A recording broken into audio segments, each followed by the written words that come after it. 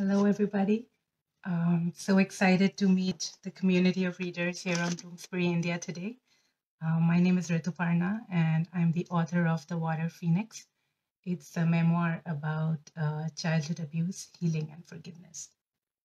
Um, and uh, happy World Book Day to you. Thank you for joining me here today as I discuss my book with you.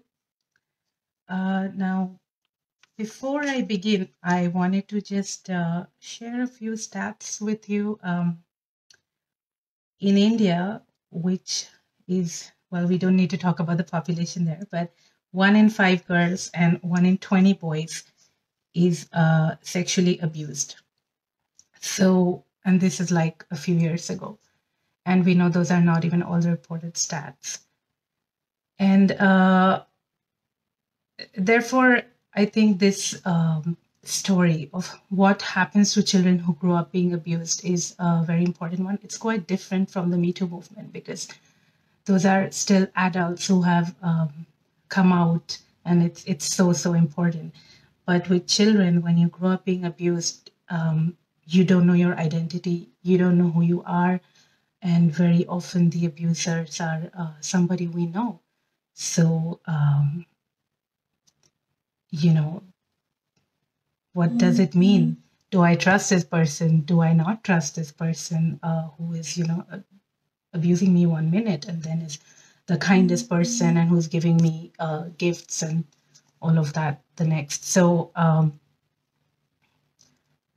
this book deals with the inner lives of those children who look completely fine on the outside. The signs are always there, but I think as a, as a society, as grown-ups, we are not uh, equipped to really know them, to really notice them that openly. For example, I think in girls, especially UTIs are uh, very common signs. But again, abuse is a whole spectrum.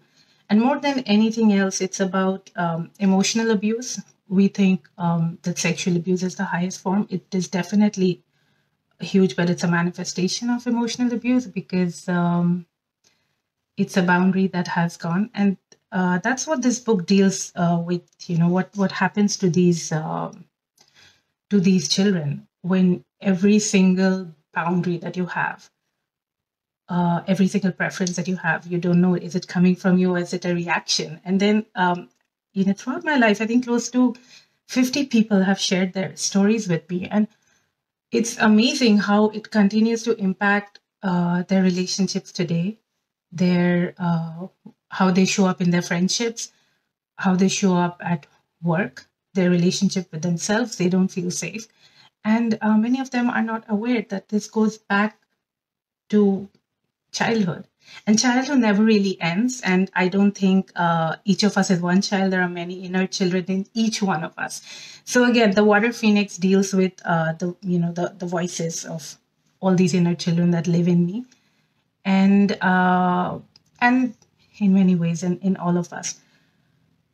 Um, so that is one thing. And uh, another reason how this book happened was um, one of those more you know more interesting questions that I uh, love to ask, and also you know people ask in conversations is what is your earliest memory? And it's fascinating to me how little most people, not everybody, but most people remember of their younger years. Uh, they're like, oh, I don't remember much of my childhood, or you know, they remember, okay, I was on my tricycle, um, and that's great. But if we go back and back, we can actually remember all the way uh, till I don't know, we were even a few months old. Um, anyway, so the water phoenix was one of my um, earliest memories, and uh, some of you know I do watercolors as well. So here is a picture.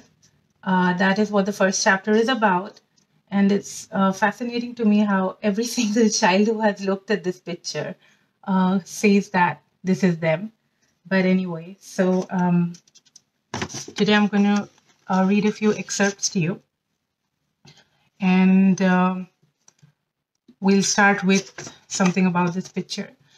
Uh, because of the nature of this book, because it's, uh, we'll, we'll find out, it's uh, a growing up book. I cannot reveal also, I cannot read like a whole chapter to you, but I will be able to uh, read bits and pieces. So we will start with uh, chapter one, the peepal tree.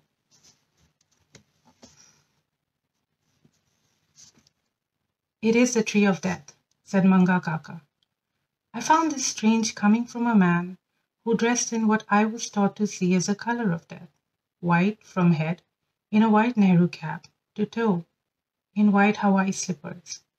The tall peepal tree in my garden did look different, with its warty wooden drippings, its mysterious dreadlocks, and its time defying cobwebs. But I never found it spooky. It was simply not of this world. And yet, it seemed that grown ups were slightly afraid of it. Especially on nights like these, when thunderstorms raged and lightning danced furiously across the purple black night sky my tree climbed into. Manga Kaka said she was possessed, like a churel. I wondered how he knew that my tree was a she, leave alone a witch. I felt she was possessed too, but only with magic. Whether in a dark thunderstorm or in blinding sunshine, to me my tree was always beautiful. Beautiful like an enchanted grandmother cat. Beautiful in a way that nothing else was in my toddler world, where everything in general was fascinating. My earliest memory is of waking up in the middle of the night oblivious to all, and looking out of my parents' bedroom window at my beloved tree, as sounds of rustling surrounded me. I was always fascinated by sounds. For instance, the word papa birthing the sounds papa, which is what my father taught me to call him, even though all the other children I knew called their fathers papa. Every time they did that, Baba, black sheep, have you any wool? sang in my ears, curling my cheeks into a smile, which the grown up saw as sheer cuteness and gushed in vanity, misplacing my joy as being for them and not for the sound of their roll call names. They loved me instantly. Perhaps this is why they had named me Shorulipi, which meant the language of musical notes.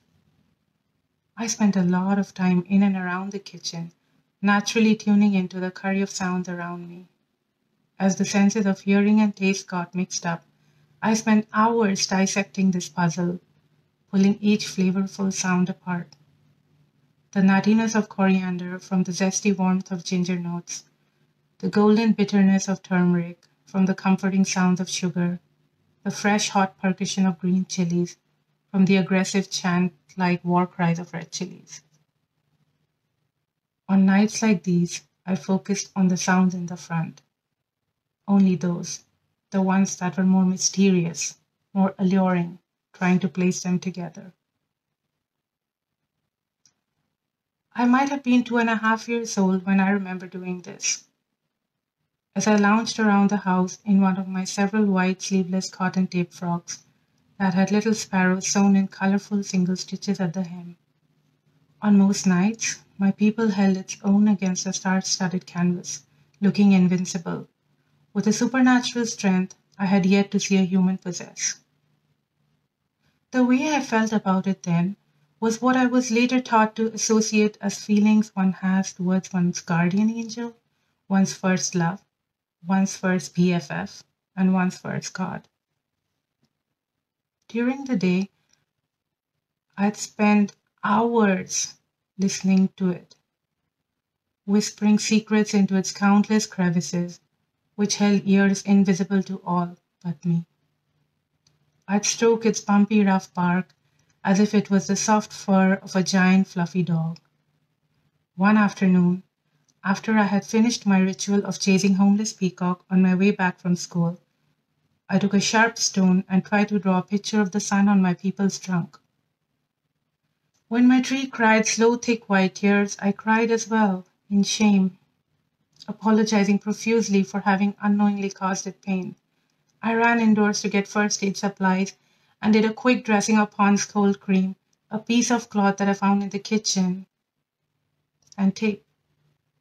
I offered it my treat for the afternoon, my first taste of kochuri that my school teacher mother had brought home from a staff event, safely preserved for me in the waxy white wrapper of a Good Day biscuit packet from the 1980s.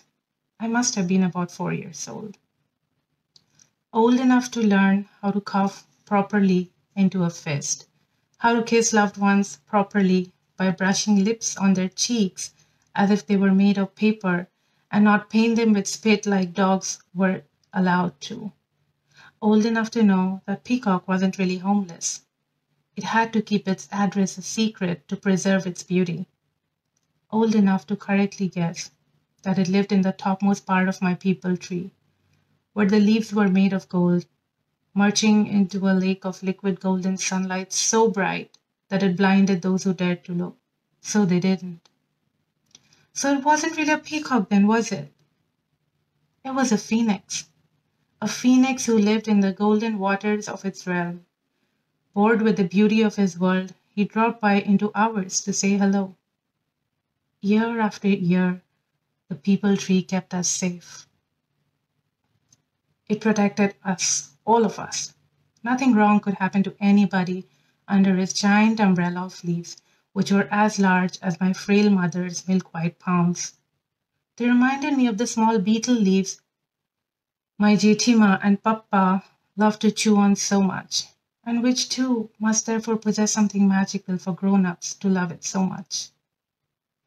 Under the dark shade the lizards who lived in the tree, the rodents who lived at its bottom, and the occasional baby goat that strayed in, and I held captive as my pet for the moment, successfully tempting it with a fibrous carcass of sugarcane cubes I had sucked the juice out of. All of us were safe. I made figurines out of twigs and sticks and left them like a devotee by her trunk. Because I had not known anything outside of it, I did not know then that this was Eden, what they called Eden, the essence of a perfect idyllic childhood.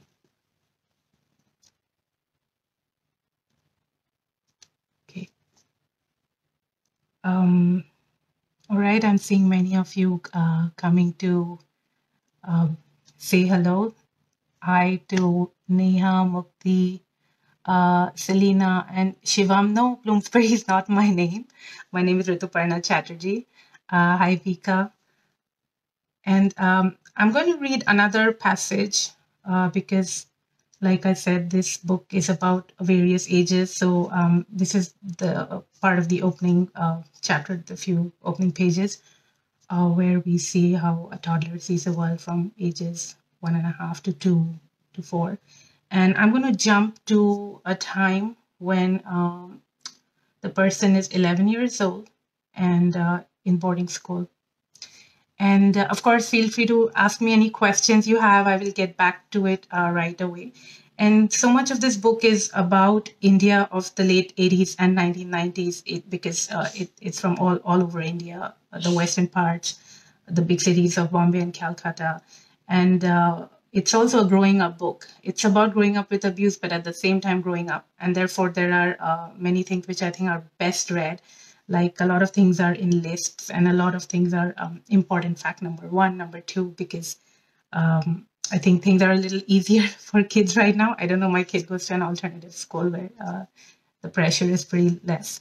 But we had to make lists of a lot of things when we were growing up and we would you know do you know 10 capitals? Do you can you tell me 20 facts about this? So uh, children back then used to love to make lists and uh, um, throughout this book there are a lot of uh, important lessons of how what abuse does is it to a lot of children we disassociate from our bodies and we become these observers as if life is a movie. And so you're just watching and watching and learning uh, in in third person. Only when you grow up and you make peace with it you realize how messed up that is. So um but anyway uh, so uh, it, it anyway it, it also works in its own way. And as I read now, you uh, may see important fact number so and so come up and uh, life lessons. So this is a part in the boarding school. Um, in fact, two parts. I'm going to read two different shorter excerpts. So eventually the big girls couldn't take it anymore. Fueled more by the awfulness of the food than the food itself, they found the necessary nutrients to create history. One Sunday afternoon, they staged a spontaneous, disorganized strike. They simply refused to retire up to their dorms and stayed assembled at the square with the big girls' big bell saying, We won't go until we get better food. Sister Selena and company came out immediately for this fresh, bizarre piece of entertainment. Immediately, she gathered a group of her favorite girls and commanded them sternly to move up to their dorms. They did, like lambs. Sister Superior told me, too, go up. I was about to, like a good little lamb too, when the biggest of the big girls said, Rituparna, stay. I was shocked, but more thrilled, and not so secretly either.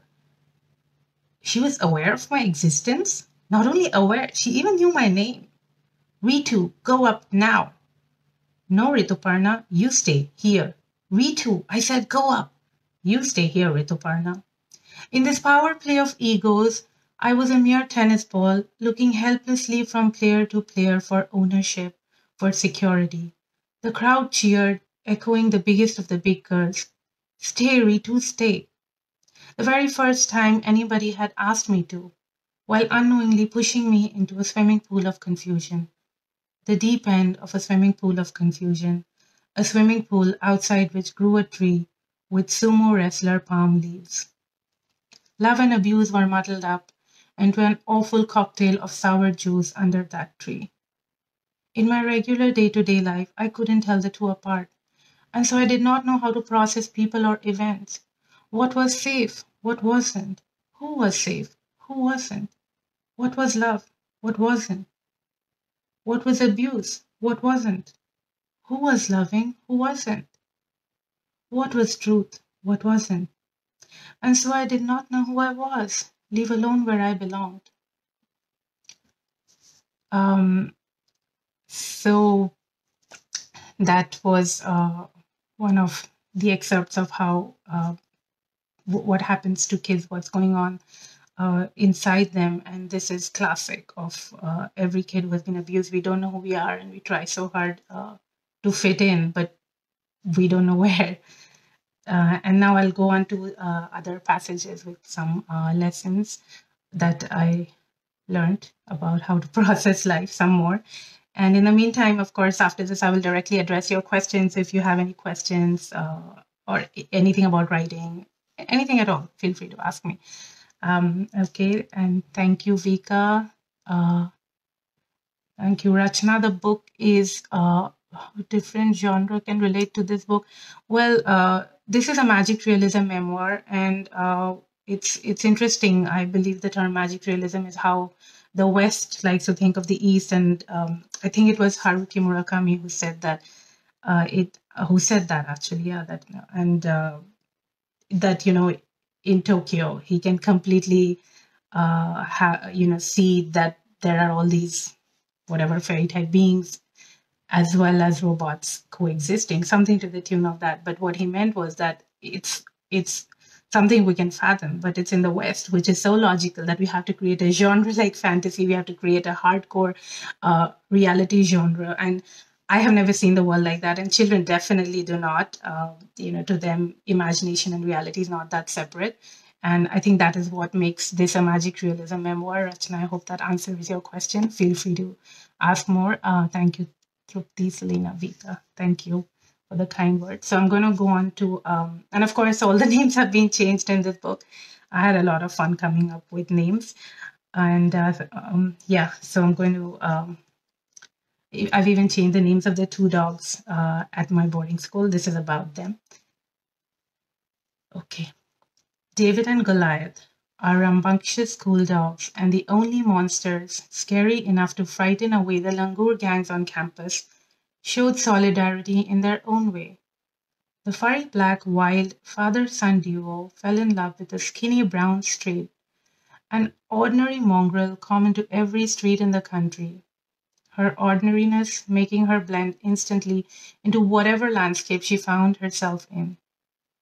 Yet, much to the collective shock of the loving nuns, Didis, spinster matrons, and us, the only time we were bound together by something, Daddy and Sonny had eyes for her and her only. David and Goliath thus taught me important lesson number 21. Love was not being extraordinary, but to see the ordinary as extraordinary. Many moonlit nights saw the campus awash with the howls of David and Goliath as their two hearts pined for their one love. Finally, the loving nuns gave in, fixed the bitch, and gave her the name of Lela. Led her into the campus, where the three dogs lived happily ever after until the end of their lives. So that was a lesson in love. And there's another lesson in love. Uh, this is around sixth grade. Uh, there was a girl, again, I've changed everybody's names, who had been in the sixth grade for a long time. She was very shy, very into herself, and um, year after year, she just stayed in the sixth grade. And then uh, one of her um, uh, sisters, I don't know if it was a cousin or a real, but she was much younger, and she finally made it to the sixth grade. And this is about what happened then. Uh, to, to that girl whom I've called Letitia, who had been in sixth grade for many years. So that year, Letitia passed. Everyone was happy for her, though nobody knew how this miracle happened. The answer was, as always, in plain sight.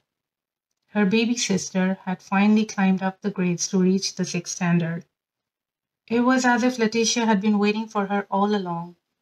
With her love and support, Letitia passed and never failed again. The sisters were together in every grade after that. They tell you that you need to be strong and fight to persevere. But what it takes to survive a storm is the very opposite to not fight it. This gentleness is the greatest strength there is. To have someone holding your hand through the storm, well, that is all that love is. Only those who didn't have it were acutely aware of it. Okay, so um, that was that excerpt. Uh, well, thank you, Rachna. Um, what, what is my opinion about what? Uh, if you could clarify your question. I will take any other questions uh, all of you have. Um,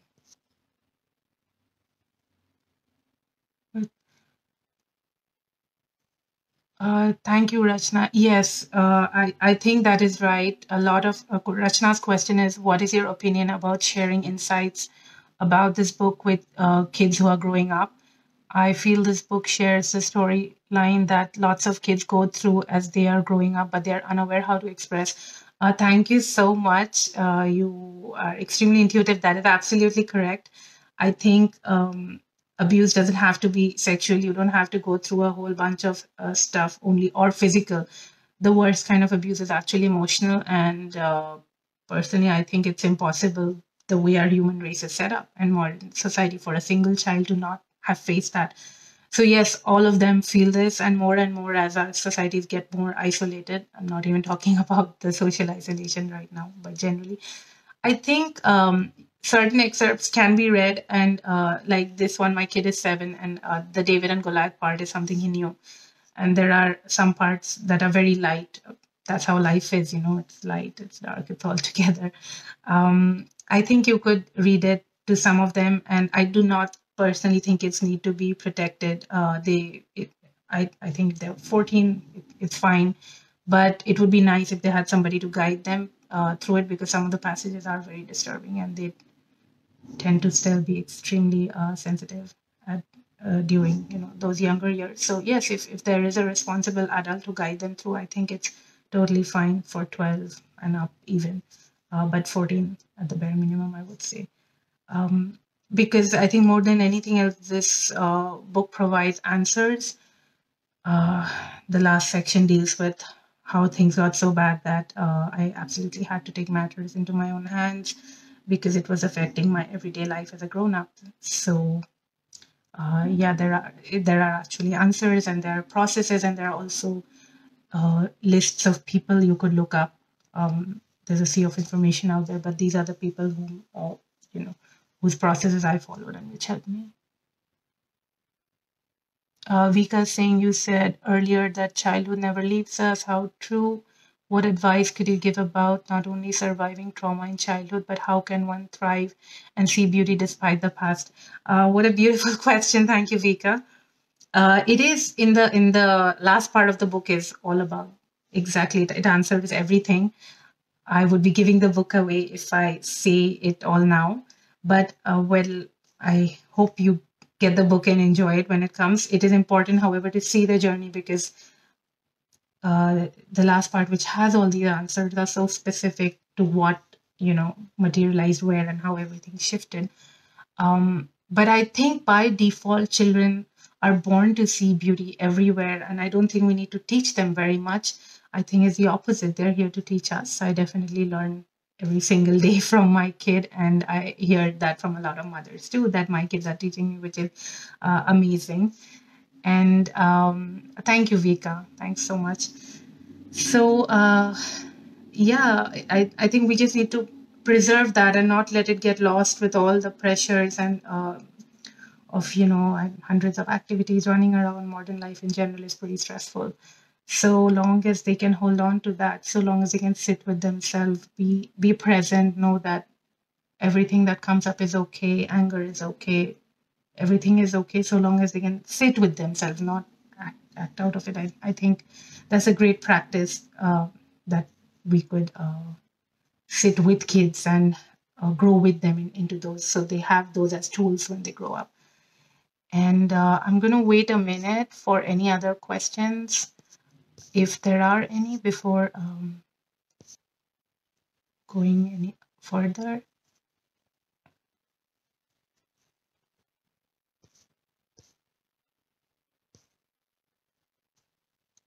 Thank you so much, all of you who have found this work uh, moving and beautiful. You're all very kind. Thank you.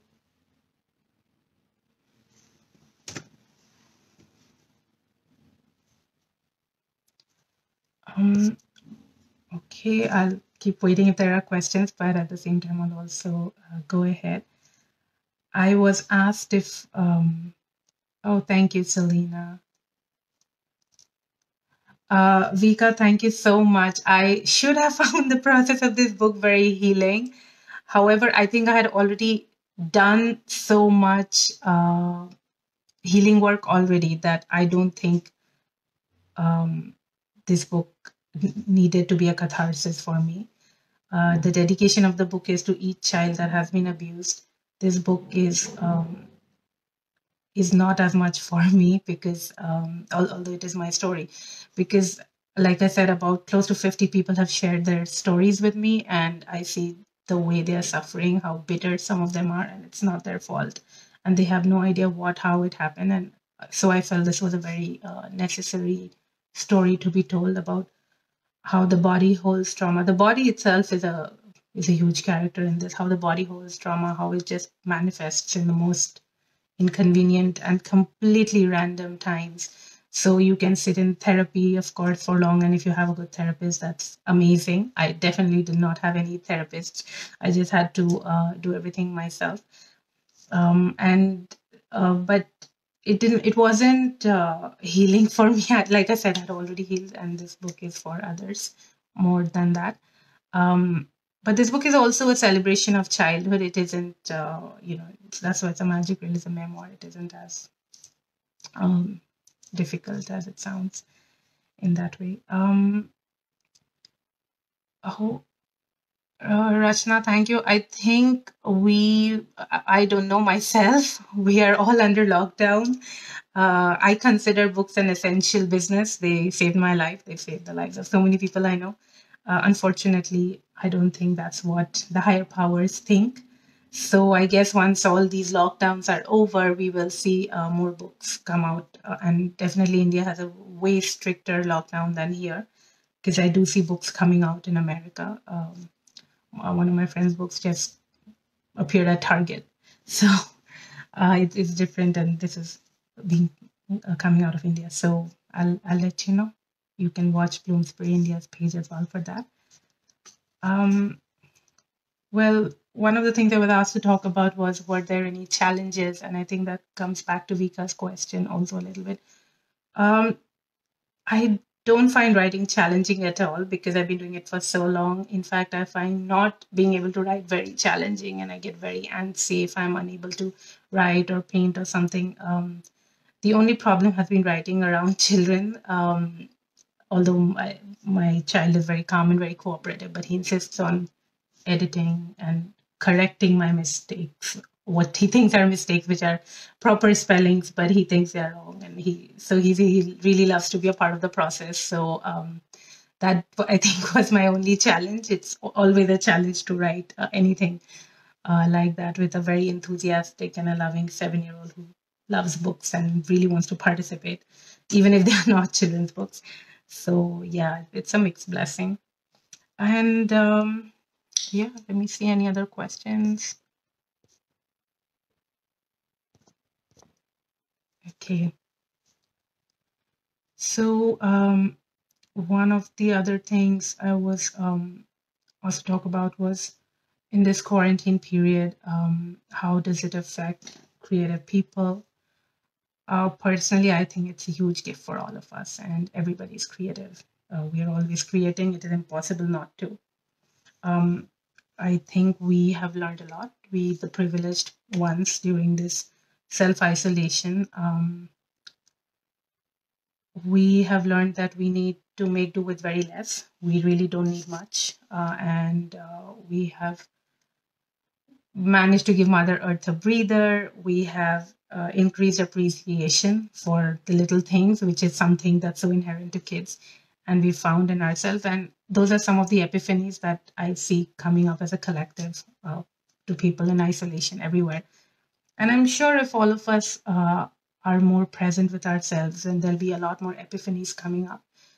Um, my only urge would be to not force yourself to be productive, to be as kind to yourself as possible during this quarantine period. To um, it's okay to not get get things done. It's so hard, especially with distance learning of those who have children. I think that uh, definitely making it harder. Uh, but uh, yeah, just be kind to yourself. Take it a minute at a time. Take uh, use this life to create, and I don't just mean write, paint. Use this time to create uh, the life that you want. What is working? What isn't working? It's uh, it's like winning the jackpot in terms of having time for self introspection, um, and that is the biggest gift we can give to ourselves is the gift of presence uh, which is w- what I was answering, uh, I think, to Vika's question before, and also to Rachna's. Um, yeah, to just be, to let's use this quarantine time to be kinder, to be more present, so we know what we want to create. Um, my own creative pursuits have actually really gone down, but I'm getting to read a lot. I am reading uh, Ocean Vuong, one of my favorite um, poets. His first novel right now is going pretty slow because so many demands. Um, but yeah, like I said, let's be kind to ourselves and uh, give ourselves the gift of presence. Remember uh, to take care of our mental health first. Uh, there is no difference between the mind and the body. We take care of mental health, the physical will automatically follow. Um, so that's my parting words for quarantine. Stay safe and take care. And thank you so much again for uh, joining me. I hope you like the Water Phoenix and I hope you will uh, read it and when it comes out. Thank you. Bye bye.